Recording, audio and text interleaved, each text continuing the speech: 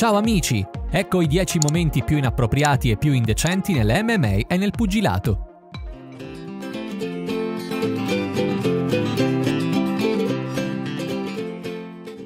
L'ex combattente di MMA britanniche Alex Reid era abituato a finire in prima pagina dei tabloid inglesi a causa della sua reputazione solforosa e della sua partecipazione controversa a un reality show. Lontano dall'essere un ottimo combattente, come lo testimonia il suo palmarès irrisorio, Alex doveva quindi fare il pagliaccio per attirare l'attenzione del pubblico e dei media, ma a furia di esagerare finisce spesso per ridicolizzarsi, come quando ha deciso di baciare sulla bocca il suo avversario Jason Barrett durante la pesatura prima dell'incontro incontro. Questo gesto non è ovviamente piaciuto a nessuno e specialmente a Barrett, il quale si è ripromesso di picchiare Raid sul ring, ma il vantaggio girerà tuttavia in favore di Alex, visto che purtroppo vincerà l'incontro. Speriamo che troverà presto un avversario al suo livello, il quale gli darà una bella lezione. Heath Herring è l'archetipo stesso del combattente cazzuto di cui il livello di testosterone raggiunge l'apice, ma prima di entrare nelle fila della prestigiosa squadra UFC, l'Ultimate Fighting Championship, Herring aveva molto combattuto in Giappone. Ma se Herring si ricorda con nostalgia dei suoi primi combattimenti in Giappone, ce n'è uno che avrebbe preferito dimenticare per sempre. Quell'incontro fatidico si svolse nel 2005 durante l'evento K1 Premium Dynamite, il quale riuniva l'elite dei praticanti nipponici di arti marziali miste. Heath Herring doveva combattere combattere contro Yoshihiro Nakao, un combattente tosto e provocatore, ma il quale non riusciva visibilmente ad impressionarlo. Il combattimento, che prometteva di essere epico, stava quindi per iniziare, quando all'improvviso Nakao si piegò verso il suo avversario e gli scoccò un bacio sulla bocca. Quel gesto inopportuno ebbe come effetto di far bollire il sangue a Herring, il quale rispose immediatamente mandando un terribile gancio destro direttamente sulla mascella del giapponese. Quest'ultimo crollò come una vecchia torre in rovina. Nakao era quindi KO ancora prima dell'inizio dell'incontro, mentre Herring si stava chiedendo se non avesse picchiato in modo un po' esagerato. Fortunatamente il combattente giapponese ne uscirà illeso ed Herring, benché criticato per la sua reazione, sarà riuscito a riabilitare il suo onore. In Bulgaria Kubrat Pulev è un pugile tosto, il quale accumula i titoli e le cinture al suo palmarès prestigioso, essendo l'orgoglio del popolo bulgaro. Considerato quindi come un autentico eroe nazionale, il pugile di 39 anni è tuttavia agli antipodi dall'essere un modello per i suoi concittadini, perché se il burbero sa benissimo come essere il padrone sul ring, i suoi modi rozzi e i suoi gesti inopportuni con il genere femminile lo rendono davvero spregevole. Il suo atteggiamento inappropriato avrebbe alla fine raggiunto il suo punto più alto nel 2019 a Las Vegas, in cui doveva combattere contro il pugile rumeno Bogdan Dinu. Infatti, dopo la sua vittoria per KO, Pulev viene velocemente intervistato da una bella giornalista di Vegas Sports, Jennifer Raialo. Alla fine di quell'intervista, il pugile bulgaro bacia addirittura quest'ultima sulla bocca senza nemmeno lasciarle il tempo di spostarsi. Presa la sprovvista, la ragazza si lasciò andare una risata nervosa e fece finta di non essere scioccata da quel gesto inopportuno. Pulev si morse peraltro le mani sotto i suoi guantoni da box, visto che quell'episodio osceno gli sarà valso sanzioni più o meno gravi, ma anche un forte astio da parte dei difensori dei diritti delle donne. Quindi possiamo solo sperare che il pugile bulgaro avrà imparato la lezione.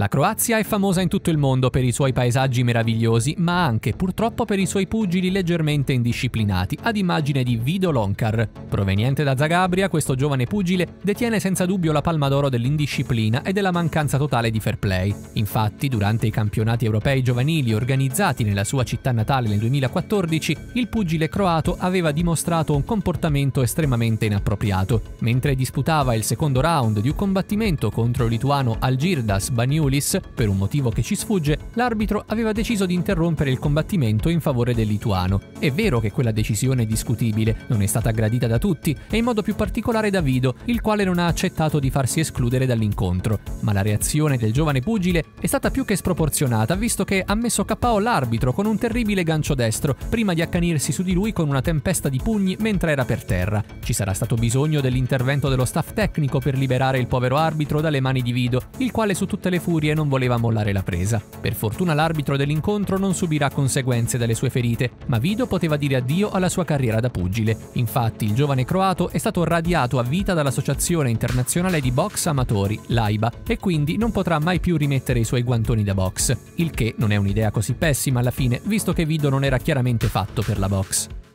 Alcuni pugili sono modelli di esemplarità e di sangue freddo e possiamo affermare senza rischi di sbagliarci che Vladimir Klitschko ne faccia parte. Questo ex campione del mondo ucraino dei pesi massimi ha sempre mostrato una calma e una concentrazione esemplare prima dei suoi incontri, non lasciandosi mai distrarre da nulla. Vladimir riusciva quindi a conservare la sua flemma leggendaria anche quando si faceva mancare di rispetto dai suoi avversari irrispettosi. Ma quando si fa sputare in faccia dal pugile inglese Derek Chisora, appena prima del suo incontro contro suo fratello Vitali, Vladimir ha proprio rischiato di perdere le staffe e dargli una bella lezione per insegnargli le buone maniere. Eppure Vladimir non farà nulla e riuscirà a controllarsi in modo tale che sembrava che si fosse trasformato in una statua di marmo. Il pugile ucraino ha letteralmente immerso i suoi nervi in un frigorifero, offrendo quindi il miglior esempio di autocontrollo di cui avrebbero dovuto peraltro ispirarsi un buon numero di combattenti. Un esempio tanto più incisivo quando si sa l'esito finale dell'incontro di suo fratello contro Cisora, visto che quest'ultimo è stato battuto alla grande.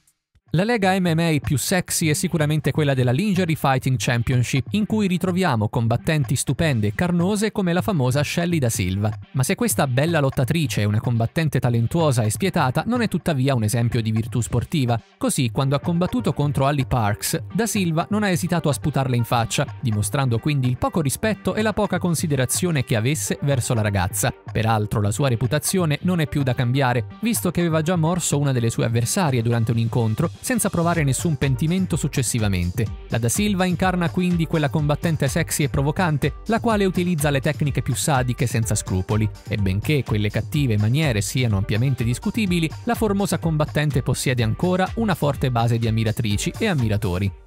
Ecco Michael Blair, per quelli che non lo conoscono ancora, è un giovane praticante americano della MMA di 23 anni e il quale spera di diventare un giorno il campione indiscusso. Quel giovane lottatore esuberante, quindi disposto a tutto per vincere, in modo da esibire con orgoglio la sua vittoria davanti all'obiettivo delle telecamere. Ma appunto, mentre aveva appena vinto un combattimento duro contro il suo avversario Kiran O'Shea e che si stava gustando il suo piccolo momento di gloria, Michael Blair si è fatto rubare la scena da una ring girl. Infatti, quest'ultima ha deciso di mettersi proprio davanti al giovane combattente nello stesso momento in cui i flash delle macchine fotografiche scrosciavano, quindi Blair non si lascerà fare e spingerà la ragazza da parte, senza tuttavia forzarla, è vero, ma tutto sommato quel gesto piuttosto infantile non è visibilmente piaciuto alla giovane ring girl, la quale si è sentita scioccata di essere stata spintonata così. Tuttavia, riconoscendo il suo errore, Blair si è ripreso e ha persino posato per una foto ricordo con la ragazza. Vedi, Michael Blair sa benissimo come redimersi con le signore.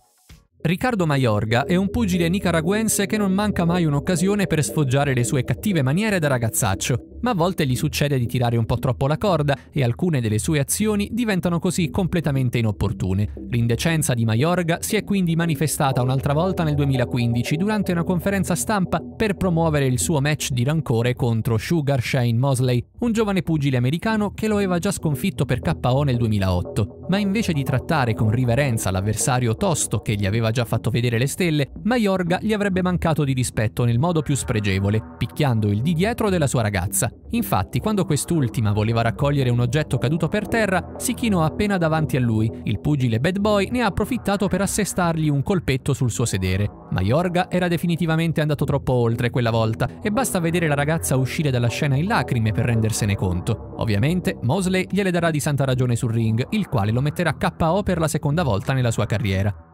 Decisamente, il giovane figlio di Billy Joe Saunders è sulla buona strada per riprendere il testimone dalle mani del suo papà pugile. Il ragazzo è infatti altrettanto scontroso e brutale del suo caro padre. Il povero pugile Willie Monroe Jr. può peraltro testimoniarlo visto che ha avuto diritto a una piccola anteprima della forza del giovanotto. Infatti, durante una pesatura prima dell'incontro tra suo padre e Monroe Jr., il birbante si era avvicinato furbescamente a quest'ultimo prima di assestargli un pugno terribile direttamente nelle sue parti intime. Il birbante proseguirà allora con un calcio potente prima di essere bloccato dallo staff di Monroe, il quale era intervenuto vedendo la forza dei colpi distribuiti. Il piccolo Saunders ha sicuramente dimostrato che fosse un buon figlio, sempre pronto a difendere suo padre, ma bisognerà tuttavia insegnargli il senso del fair play e dello spirito sportivo per diventare un giorno un campione come papà. Come abbiamo visto nel corso di questo video, le molestie e i palpeggiamenti a sfondo osceno e sessuale sono purtroppo frequenti all'interno delle gare di boxe e di MMA. Arthur Kolinsky fa quindi parte di quella razza di combattenti che rispettano pochissimo il genere femminile e che si permettono di comportarsi in modo molto inappropriato. Quel lottatore perverso è stato sorpreso mentre colpisce il sedere di una povera ring girl, di cui l'abbigliamento accattivante non l'aveva visibilmente lasciato indifferente. Quel gesto completamente indecente e inappropriato da parte di Kolinsky non ha fatto altro che attirargli l'ostilità di un buon numero delle sue fan. Kolinsky avrà quindi molta strada da percorrere per riconquistare la fiducia delle sue ammiratrici, le quali vedono in lui solo un cattivo personaggio senza scrupoli. Speriamo soltanto che non lo rifaccia mai più. Ed ecco, è tutto per oggi. Quale di questi 10 momenti inappropriati altamente indecenti dell'MMA e della box ti ha impressionato di più? Ecco due video che potrebbero anche loro interessarti. Non esitare a dare un'occhiata al nostro canale, altri video altrettanto interessanti ti aspettano. Grazie e a presto!